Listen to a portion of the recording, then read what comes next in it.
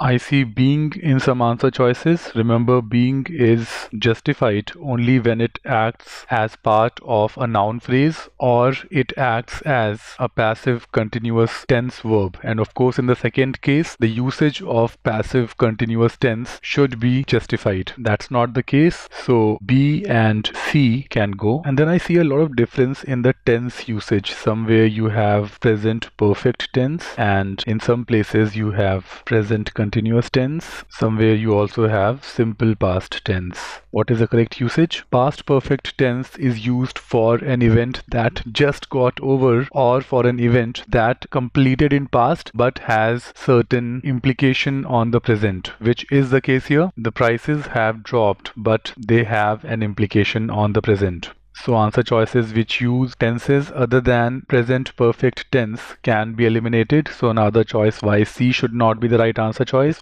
E can go now. It's between A and D and D has an easy to identify pronoun error here two problems. First of all, they is not needed. The subject here is exports. So whatever is being said is about exports. We don't suddenly have to say a they here. Even if it were just have dropped, it would be clear that exports have dropped is the meaning. And the second problem with this usage is that they has multiple antecedents. It could be exports also, it could be producers also, it, maybe it could be something else also. So D is easy to eliminate. Let's confirm choice A. According to World Trade Organization, West African crude oil exports to Asia peaked last year and have dropped since then as many producers have been unable, have been for an event that started in past, continues into present, have been unable to compete with discounts offered by Middle Eastern firms.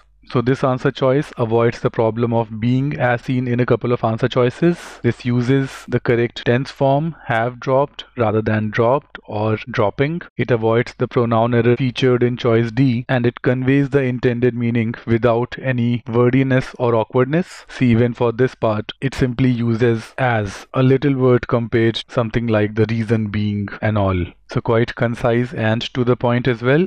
Answer choice A is the best answer choice.